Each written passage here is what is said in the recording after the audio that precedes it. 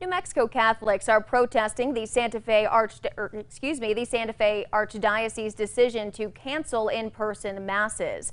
Last week, Santa Fe Archbishop John Wester announced that all in-person mass would be canceled until further notice. And today, Catholics gathered around the Archdiocese of Santa Fe in a peaceful protest, asking the Archbishop to reverse his decision. Organizers say that individuals are capable of deciding for themselves what health risks they are willing to take. I think people that are afraid can choose to not go to Mass, and there's a dispensation for that. But those that want to go to Mass ought to be able to go to Mass. Who knows? We all could come down to this, or we all not, but we all need the sacraments, and we we all need that for our spiritual health and well being.